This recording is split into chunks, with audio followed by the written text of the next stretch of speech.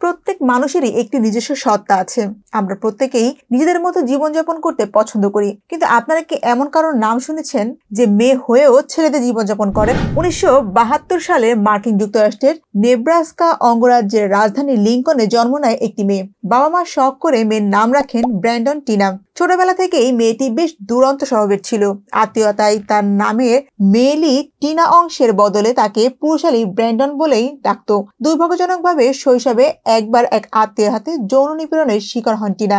এরপর আর সেখানে না থেকে তিনি চলে যান নেব্রাস্কারি রিচার্ডসন কাউন্টিতে।